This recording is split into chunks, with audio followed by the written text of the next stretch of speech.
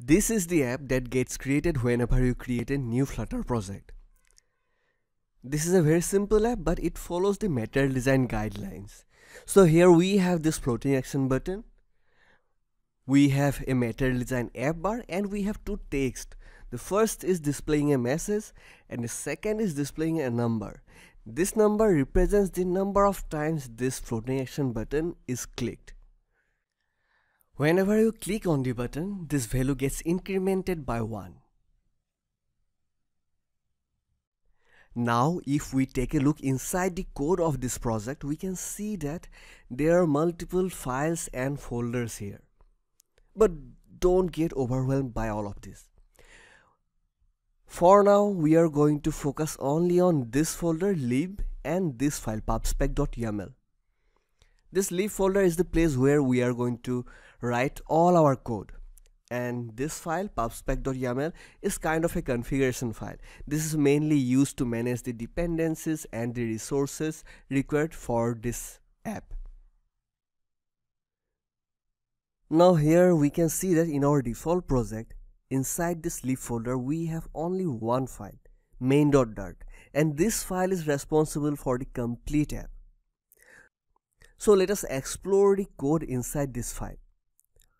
First of all, let us remove these comments to make our code a little more clear. Now let us try to understand the code by dividing it into three parts. First is the main function. This is the entry point for the program.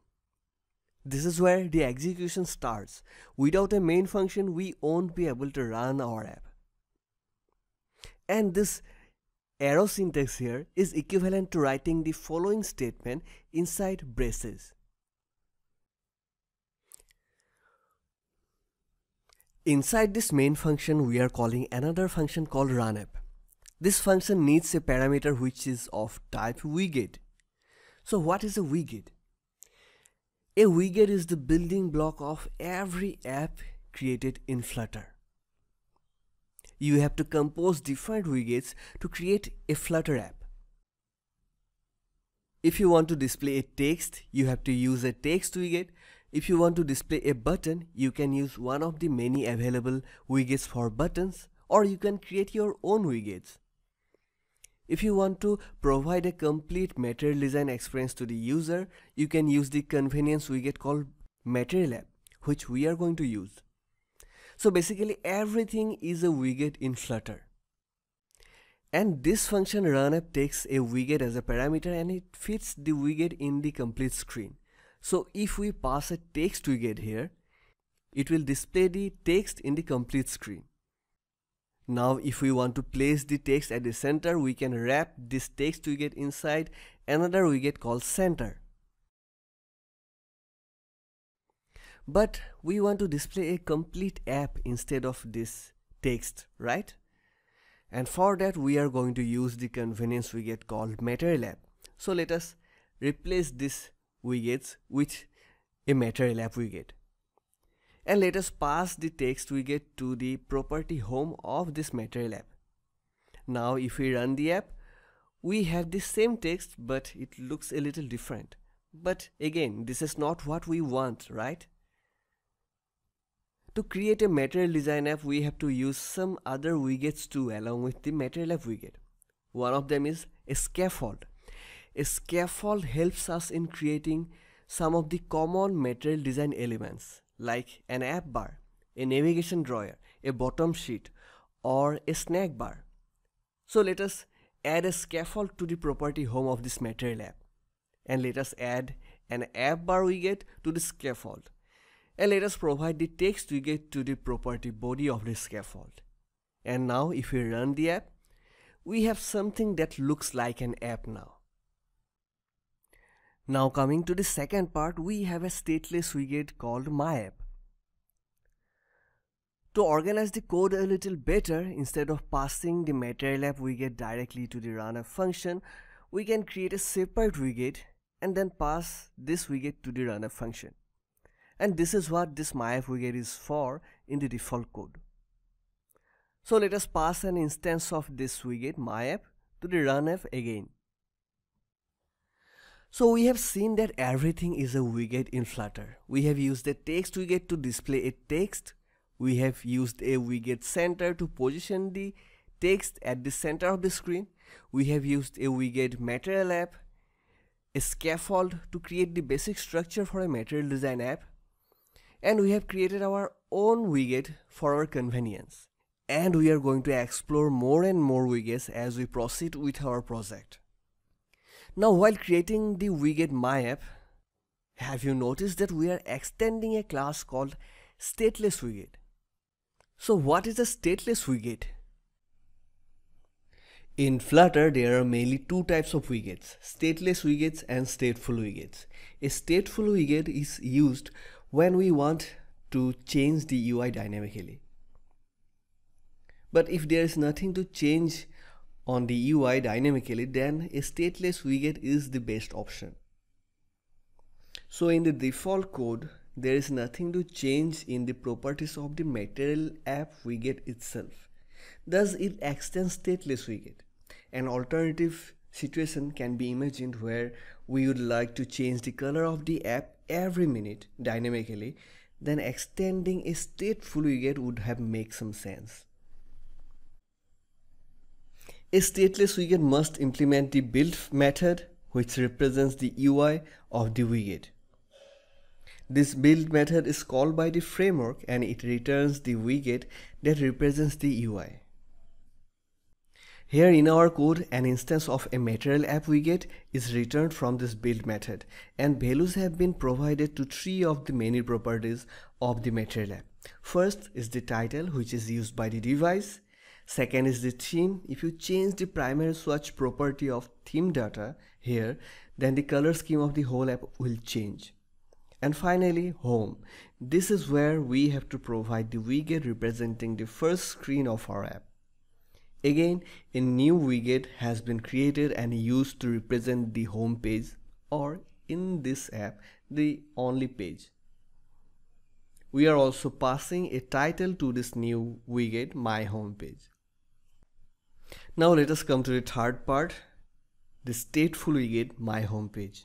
This widget has an associated state class, my homepage state. So why is my homepage stateful? And the answer is because we are going to make changes to the UI dynamically. Whenever the user clicks on this floating action button, the number of times that this button has been clicked will be displayed here. Every time the button is clicked, the counter will increment and the new value will be displayed in this text widget. A stateful widget must have a state associated with it. A state has to be defined separately by creating a class that extends this state class. Unlike stateless widgets, the build function responsible for drawing the UI is not inside the widget class. Instead, it is inside the state class.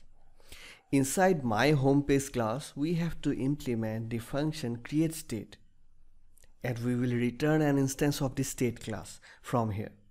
This function is called by the framework to associate the state with the widget. We will write all our UI code here inside this build function as usual, but this time we will also have some logic to update the UI dynamically.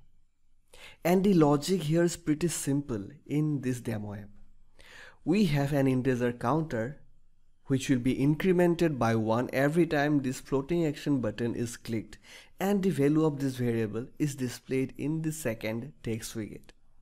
We have a few new widgets here. Let us explore them one by one. First, at the root here, we have a scaffold widget. A scaffold makes it easier to add the common material design elements to the app. For example, to add an app bar, a snack bar, a navigation drawer or a bottom sheet, we just have to provide the proper widget to the corresponding property of scaffold. For example, here we are providing an app bar widget to this property app bar to display a material design app bar here. And we don't have to worry about the material design specifications. This will be taken care of automatically just provide the values for the properties that we need to configure. Here we are providing a text widget for the title. Now what is this widget title? Widget is a reference to the stateful widget to which the state belongs. My home page in this case. And my home page has a property title that is initialized by the constructor. We are passing a string while creating an instance of this widget. And this field title can be accessed from the state class with help of the widget reference. Next, we have a center. We have already used this widget. It positions a widget at the center of its parent. Then we have a column. A column takes a list of widgets as its children and organizes them vertically. You can notice that we have a property children instead of child here that takes a list of widgets. In Dart, you can create a list by enclosing comma separated items inside square brackets. Two text widgets are passed here, one for the message and the other for the counter. The horizontal counterpart for a column widget is a row, which takes a list of widgets as the children and organizes them horizontally. Next, we have a floating action button. This widget is used to create a floating action button as the name suggests. Here, we are passing three values to the constructor of floating action button. First is on pressed, which is a callback function that is called whenever the button is pressed. A function is created to increment the counter variable by 1. On pressing the floating action button, this function is called and the value of the variable is incremented by 1. Next we have tooltip. Just press and hold this floating action button for a while and you will see this text appears and this is tooltip. Next we have child and an icon widget is being passed here to display this plus icon inside the button. It takes an icon data as a parameter. An icon data describes an icon. But what is this icons dot add then? Icons is a class that comes inbuilt with the framework that contains icon data for common material design icons and add is one of them. Just type icons and a dot and the IDE should show you the list of available icons. Now let us come back to the increment counter method. Here you can see that the counter variable is incremented inside this set state method. So what is set state? Calling set state is a way to tell Flutter that something has been changed and the UI needs to be revealed. The framework will call the build function of the state again, which will redraw the UI. If you don't call this function even after changing the value of counter, the UI will be showing 0 itself. Here you can see that I have removed the call to set state but I'm still incrementing the value of the variable counter and I am adding this print statement so that we can see the latest value of this variable in the console. Now let us take a look at the app and here if we click on the floating action button the value is getting incremented and we can see the actual value in the console but in the UI it is still showing 0 because we have not called set state thus Flutter does not know that some changes has been made and it needs to rebuild the UI. So whenever we need to make any changes to the UI, we have to call set state.